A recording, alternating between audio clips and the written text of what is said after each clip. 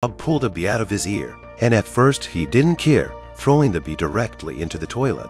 When he washed his face, two more bees came out of Bob's ear. What was going on here? Bob knocked the bee to the ground and stomped on it hard. And then another bee flew over and landed on Bob's shoulder. Bob turned his head to see the back of the whole hundreds of bees. At this time his mood, nervousness. Then Bob took off his shirt, carefully wrapped up the bees, and threw them into the bathroom. But then Bob had a splitting headache Almost as if it was going to explode in the next second, Bob dried the mirror, the black bee, just a little bit from the eye, along with the nostrils and mouth. Hundreds of bees swarmed out. Bob with a breakdown of emotions panic pat, accidentally fell on the toilet died on the spot. At Bob's funeral, Carrie grief, a side of Abby saw, took the initiative to hold Carrie's hand to express comfort.